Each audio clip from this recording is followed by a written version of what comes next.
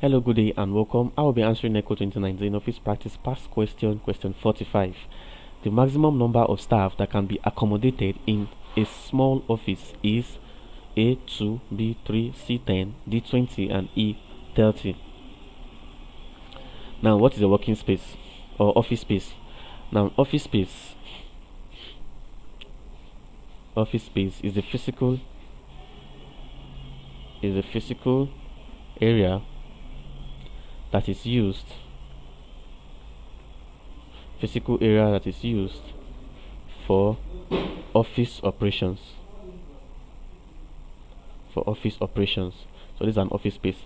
Now when you have a small office or a small office space there's actually a maximum number of staff that can be accommodated in this office.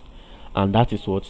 Two staff so the maximum number of staff that can be accommodated in a small office space or in a small office is 2 and that is option A 2. Thank you and God bless you and share subscribe to our channel for more videos.